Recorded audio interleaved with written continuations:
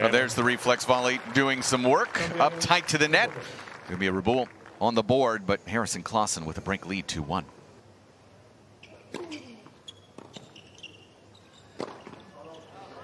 Yeah. Reboul, they're going to take a couple shots at Harris. Lloyd Harris, I think, along the way. Uh, that's just ridiculous hand skills. Lloyd Harris grabs another break for the South Africans. It's 4-1 in the first.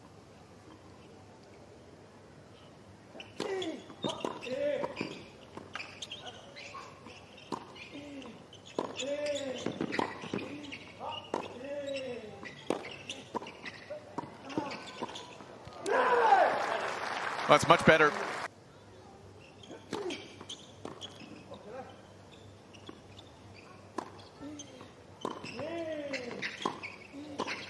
Oh, he left yeah. Harris out to dry there. Klaasen started with the double fault on the first set point, and then everything got away from him. Here come Doumbia Reboul to 5-3.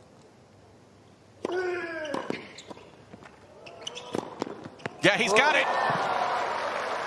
We're going to call it around the post. Absolutely, Lloyd Harris. Highlight shot for Lloyd to 30 all.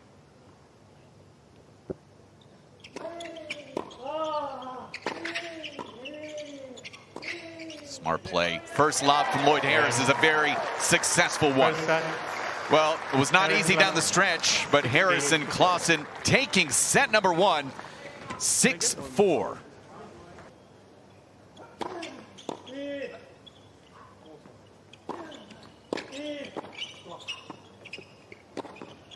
We better. They are able to get the hold, consolidate to 3-1. As Harris serves 3-2.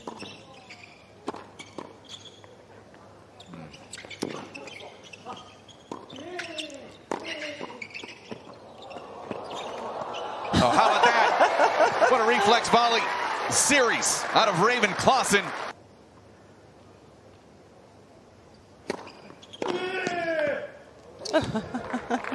oh my. Another good return.